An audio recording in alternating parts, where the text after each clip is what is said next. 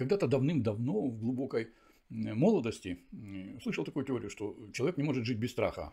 То есть мне вот серьезно реально внушали, что говорили так, слушай, а вот если ты э, вот, идешь, идешь, у тебя страха нет, ты раз так под автобус зашел, то есть нет страха у тебя, человек, ты, человек не может без страха жить, он должен бояться, иначе у него будут проблемы.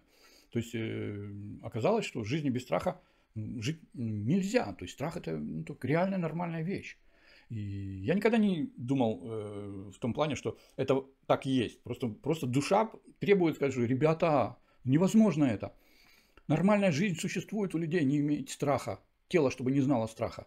Вот воспитывается этот, э, допустим, человек, эмир там какой-то, да, возле него тетушки, маленький человек рождается, вокруг него все эти крутятся нянюшки, все, все подбираются такие хорошие, красивые, то есть э, мягкие, все, ну, в общем, идеальные условия. То есть человек не встречается с эмоцией страха. То есть, вот представьте себе, что вот нет у него, никто его никогда не пугал. Как те э, олени на островах, которые, где нет хищников, которые выходят, люди приплыли, они выходят, смотрят на них, стоят, ну просто не знают, они, у них нет страха. Так и людей. Но может быть так, что нет страха.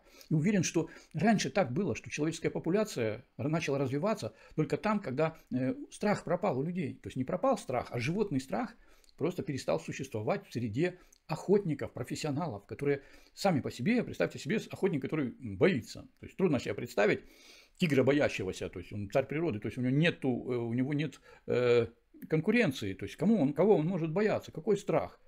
Вот он сам по себе такой и все.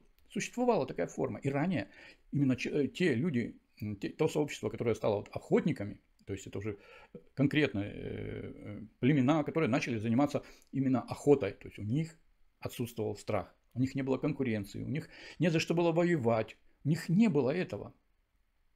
И поэтому э, люди э, считали, что страх – это признак животный. И только так, потому что это деструктивный страх, э, состояние деструктивное. Если в группе какой-то возникает у кого-то э, страх, то есть это паранойя да, какая-то, то есть это уже не жилец, это живое существо в любом стаде, хоть парнокопытный, хоть э, этот э, где-то в среде хищников, нет такого, что если есть страх, все, это уже существо низкое, оно в самом э, низу иерархии будет находиться, и в конце концов оно первое погибнет, потому что у нее есть страх у этого существа. А людей вот э, сейчас в настоящем нашем положении, состоянии сознательно пугают. То есть почему? То есть опускают с помощью страха для того, чтобы внушать. Вот такая технология. Представьте себе, что вот зачем газеты, вот эти врачи, они постоянно врут, врут, врут, какую-то хрень пишут, вот что-то такое, что если у тебя большой живот, это может быть признаком рака, если у тебя что-то, то это так. То есть они тебя пугают, пугают, пугают, сознательно пугают. И, понимаете ли, и на этом зарабатывают деньги. Это их бизнес. То есть, если они не будут пугать, то никто не пойдет к врачу, к этому же, или на прием. У них просто система, они работают так.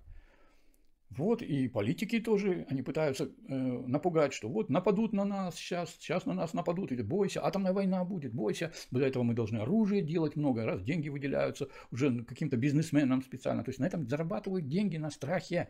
Посмотрите, какие огромные деньги зарабатывают страховщики, которые страхуют вот эти суда, которые мировые, вот эти все танкера, все это, ж, это огромный бизнес. Ни, один, ни одно судно не выйдет без страховки. И это просто деньги из воздуха. Куда они потом эти деньги идут?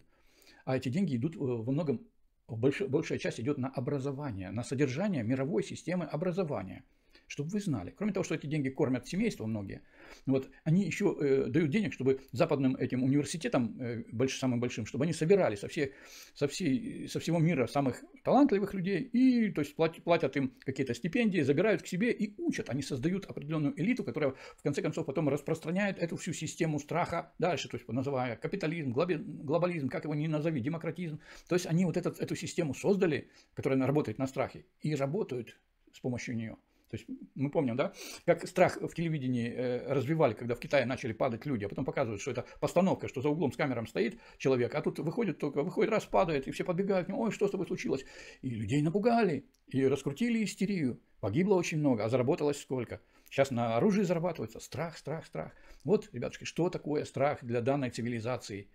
И никто об этом не говорит почему-то, да? Никто не говорит, просто пугают. Цыгане пришли к власти, такие инфо-цыгане которые весь свой бизнес построили на том, чтобы загрузить людские мозги и напугать. Вернее, сначала запугать, а значит, они внушаемые. Страх делает человека внушаемым. То есть присутствует у тебя страх, значит, у тебя присутствует и внушение. Все, ты попал человек. И такие масса вот этих потребителей сидят перед телевизорами и пожирают эту рекламу, скармливают, а потом идут, делают то, что им говорят. То есть вот такая вот система страхования, пугания, которая вот эта западная система мироздания, так сказать, цивилизация. И научный институт является основой этого, э, этой цивилизации. Научный институт, который здесь, вот в России, вот сейчас, в данный момент пугает людей и делает из них внушаемых. То есть они стараются их вести за собой. Но вот не получилось. Ну вот сейчас так не выходит у них, но они все равно стараются. И с помощью образования они надеются на то, что вот через 10-20 лет вот все пройдет, и все, и они снова придут к власти. И нужно с этим делать что-то, да. То есть это нужно что-то с образованием менять, нужно с мироощущением человека менять, нужно внушать человеку, что человек, страх это животное, это животное состояние, это не свойственно человеку. А, а после этого еще нужно потом при, подумать, чтобы додумались эти депутаты Госдумы, вместо того, чтобы они хренью там разной занимались, чтобы они взяли и создали инфогигиену, чтобы они запретили рекламу страха и запугивания людей за деньги, без денег, вообще как угодно. То есть реклама страха запрещена, во всех изданиях. То есть вот нет и все. Никакая это самая сердечность не может говорить, человек, слушай, если ты к врачу не пойдешь, ты заболеешь и умрешь. Понимаете, как они о тебе заботятся? Ну ты же должен пойти, а потом заплатить, или же заплатит за тебя государство, и все равно им заплатят. Сейчас у них программа такая, за больших чиновников купить нескольких и через них проводить все программы. И все, а зачем? Иначе как? Не надо никому внушать. Тебе скажут, что иди вакцинируйся. И ты пойдешь и будешь вакцинироваться, и маски купишь, и тесты будешь покупать из-за страха. А это все стоит, это все бизнес. Вот такой вот бизнес сейчас и продолжается.